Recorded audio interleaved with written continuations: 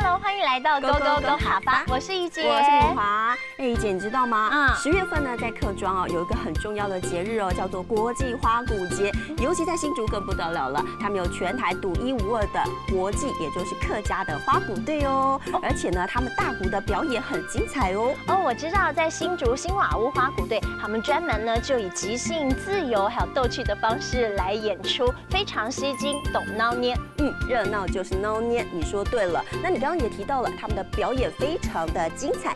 表演其实很简单，叫做表演。哦，我听懂了，表演就是表演。嗯，那么你刚刚有提过打鼓，打鼓怎么说呢？打鼓很简单，打鼓叫做大鼓。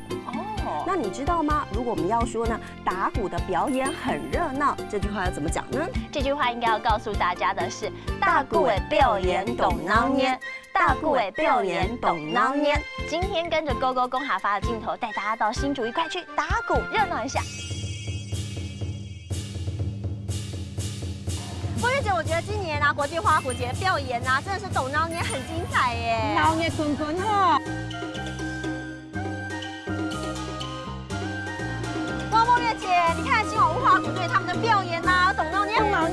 看你的服装啊，服装都是客家的服装，对不对？还有队形变化，哇！你看，好棒哦！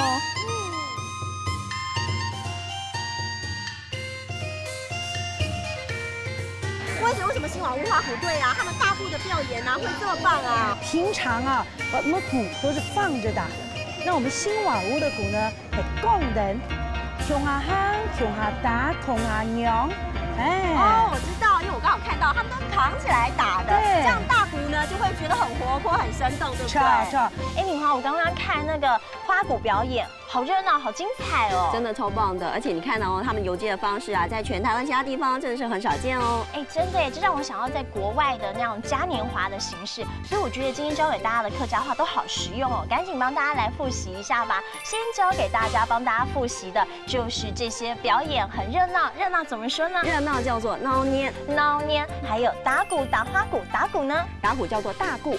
大鼓。最重要的是这些表演非常的精彩，非常的热闹。表演告诉大家表演叫做表演，表演。嗯那么最后呢，要教给大家一整串的句子。